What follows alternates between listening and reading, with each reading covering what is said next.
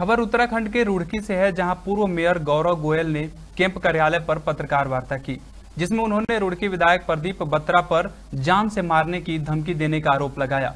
उन्होंने कहा कि मैंने सोलानी नदी पर बने रपटे की शिकायत को पिछले कई दिनों से सोशल मीडिया पर डाला हुआ था, जिसके बाद विधायक प्रदीप बत्रा ने रविवार मुझे एक तेरहवीं कार्यक्रम से निकलते हुए सार्वजनिक रूप से जान से मारने की धमकी दी है। उन्होंने आरोप लगाया कि भ्रष्टाचार की शिकायत करने पर उन्होंने स्वयं विधायक द्वारा मारे जाने की धमकी दी जा रही है, जबकि शहर विधायक प्रदीप बत्रा खुद भ्रष्टाचार में डूबे हुए हैं।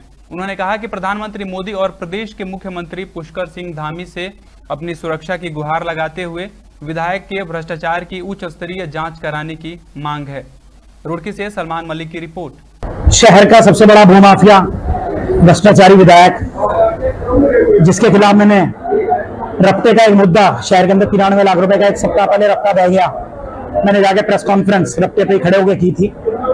वो उस प्रेस कॉन्फ्रेंस से इतना तिल मिला गया कि अपने चमचे द्वारा, अपने साथ जुड़े हुए ठेकेदारों द्वारा, अपनी तनख्वाह पर रखे हुए नौकरों द्वारा और दो चार जो उसके चमचे हैं, उनके द्वारा फेसबुक पे मेरे खिलाफ एक अभियान उसने चलाया। मैंने भी उसी क्रम में उसके द्वारा किए गए भ्रष्टाचार के दो चार बिंदु अपने फेसबुक पे पोस्ट किए। और मैं बताना चाहता हूँ कि वो पोस्ट अब लगातार इस भ्रष्टाचारी विधायक के कार्य उजागर चलते रहेंगे, वो रुकने वाले नहीं है। आज श्रद्धांजलि सभा तीन बजे हर मिलाप धर्मशाला में आदरणीय कालरा जी की थी। उस बेशरम व्यक्ति ने यह भी नहीं देखा कि मैं कहाँ पे आया हुआ हूँ। किसी की मृत्यु की श्रद्धांजलि सभा में उपस्थित हूँ। उसने मुझे वहाँ पे जान से मारने की धमकी दी।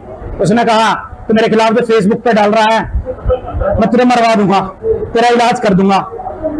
मैं शरीफ आदमी, मैंने उसे सिर्फ़ इतना कहा कि जो तुम्हारे पे वो कर लेना। लेकिन मैं डरने वाला, उसकी धमकियों से नहीं हूँ। वो डराएगा उन लोगों को जिनकी संपत्तियाँ कब जाएगा, जिनके पैसे मारने होंगे उसे, जिनके साथ धोखा देगा, अपने साजियों को धोखा देगा। कोई ऐसा शहर का व्यक्ति नहीं छोड़ा उसने। माफिया वो ताक में रहता है, जिसके साथ बैठता है, कि इसे किस तरह ठगना है। साडा कोई सजा नहीं, और जिसे ऐसी ठगे नहीं